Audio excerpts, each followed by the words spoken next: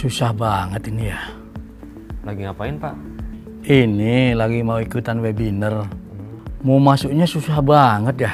Sekarang apa-apa digital, eh internet, aplikasi bikin ribet aja. Susah gimana pak?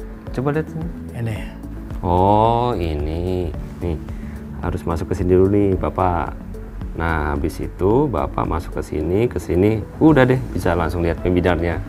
gitu ya mas. Sekarang era digital udah canggih pak, nggak ada batas.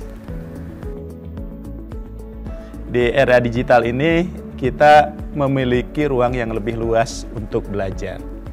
Nah, oleh sebab itu, pengembangan kompetensi justru di era ini yang tadinya tantangan ini akan menjadi sebuah peluang. Nah, inilah yang bisa dimanfaatkan oleh kita semua, khususnya untuk aparatur sipil negara. Dengan seluas Indonesia yang saat ini, barangkali yang tersebar seluruh aparatur sipil negara, belajar tidak lagi ada batasnya. Ya, Semuanya dari Sabang sampai Merauke memiliki kesempatan yang sama. Dan yang paling penting, sekarang ini regulasi kita juga akan membuka ruang yang seluas-luasnya.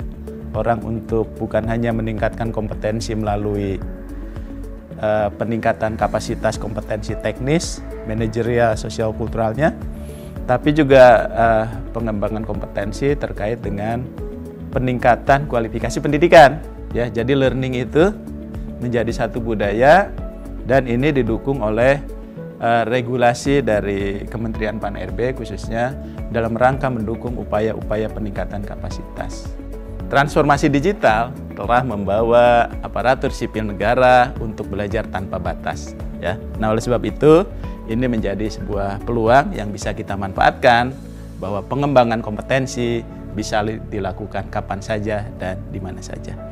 Tentunya kalau kesempatan ini bisa dimanfaatkan oleh seluruh aparatur sipil negara kita, ini akan mempercepat proses guna mendukung capaian program prioritas nasional. Transformasi digital menjadi titik mula perkembangan dunia yang lebih cepat.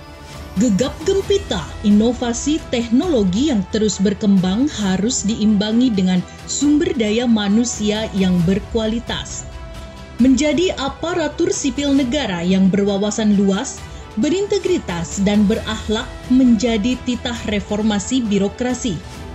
Digital learning meneguhkan ikhtiar pembelajaran tanpa mengenal tapal batas. 34 provinsi yang membentang di Indonesia dengan ragam letak geografisnya bukan kendala bagi aparatur sipil negara untuk terus meningkatkan kapasitasnya. Kementerian Pendayagunaan Aparatur Negara dan Reformasi Birokrasi Republik Indonesia mendukung pembelajaran tanpa batas untuk terwujudnya Indonesia Emas 2045. Kementerian Pan RB berakhlak, bangga melayani bangsa.